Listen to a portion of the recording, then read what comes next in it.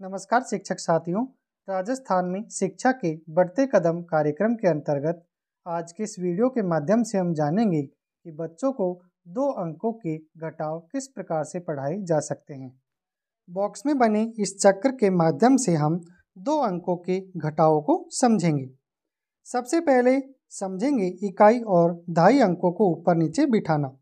अगर हमें 18 में से 12 घटाने हैं तो ऊपर लिखेंगे हम 18 और उसके नीचे बिठाएँगे 12 देखिए किस प्रकार से 18 के इकाई अंक आठ के नीचे हम 12 के इकाई अंक दो को बिठाएँगे।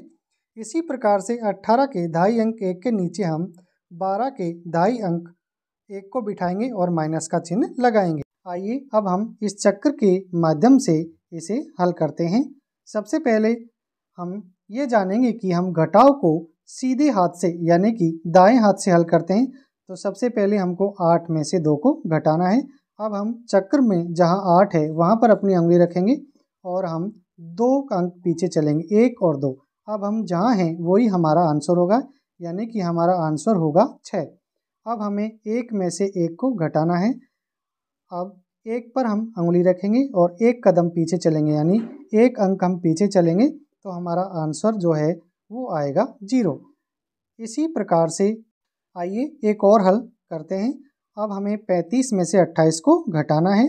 हमें घटाव को हमेशा दाई ओर से करना है तो हमें पाँच में से आठ को घटाना होगा। अब पाँच यहाँ पर छोटी संख्या है और आठ यहाँ पर बड़ी संख्या है। तो पाँच को बड़ा करने के लिए तीन से हम एक यहाँ पर उधार ले लेंगे तो ये हमारा अंक हो जाएगा पंद्रह। पंद्रह में से हम आठ को घटाएँगे तो हम चक्र पर जहाँ पाँच है वहाँ चलेंगे। और पाँच से पीछे के जितने भी अंक हैं, वहाँ एक एक हम यहाँ लगा लेंगे, यानी इसको चौदह, पंद्रह, तेरह, बारह और ग्यारह बना लेंगे। अब हमें आठ अंक पीछे चलना है तो एक, दो, तीन, चार, पाँच, छ, सात और आठ। अब हम जहाँ हैं, वही हमारा आंसर होगा, यानी कि हमारा आंसर होगा सात।